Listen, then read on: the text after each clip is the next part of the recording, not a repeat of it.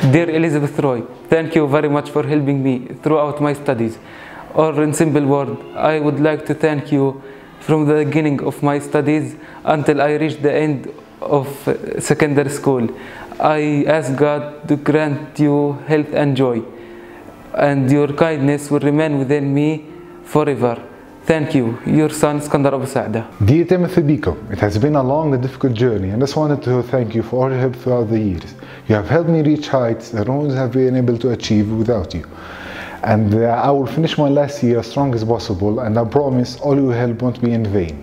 I have made many friends and achieved many goals and that was all thanks to you. So once again, thank you very much for all your help and I hope you and your family are all doing very well.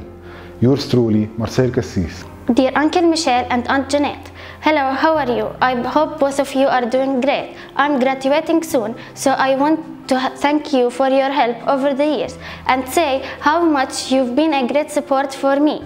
I appreciate the help you've given to me and I want you to wish me a good luck in my senior exams. Your daughter, Natalie. Dear Uncle Robert and Aunt Shirley Feik, after 12 years well spent in this school, I can finally say I'm graduate now. I'm my parents' first child who's graduating. I'm so happy to finish this chapter.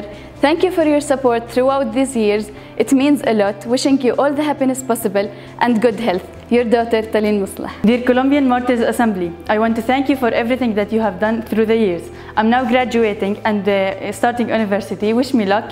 I wish you all the happiness possible. Sending you greetings from Palestine, your daughter Mary. Dear Sir Knight Marwan Sahel, throughout all my school journey, I'm so grateful for everything you made me and for all the support you gave me.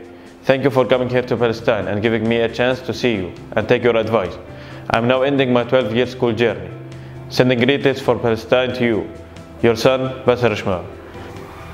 Dear Miss Wendy Cassibault, thank you for everything you have done for me throughout the years. Now that this chapter is coming to an end and I'm about to start a new one, I would like to thank you for everything you have done. And um, I would like for you to wish me luck as I will be wishing you all the best. I would also love to thank you for your love and support and for helping me achieve the knowledge I have always longed for, as it's going to help me to achieve what I have always dreamt of achieving and become what I have always dreamt of becoming. Your daughter, Natalia. Dear members Saint Rose of Lima, I want to express my sincere gratitude for your incredible support during my school years. Your kindness ha has made a real difference in my life. Thank you to all of you. I'm now graduating from high school.